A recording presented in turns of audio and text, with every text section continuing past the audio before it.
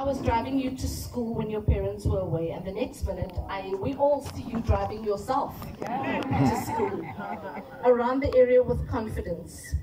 One thing that has stuck with all of us over these years is your impeccable manners. You were a, a polite boy, and you have grown into a polite young man.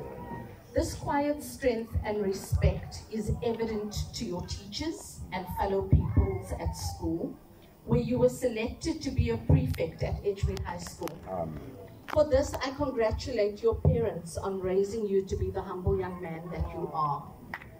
You are a perfect example to your siblings, and I pray that you continue to display the characteristics that has carried you thus far. We all know that you, you will make a success at university next year, mm. and we wish you the absolute best in pursuit of your bachelor's degree in computer science. Keep playing rugby and make us all proud.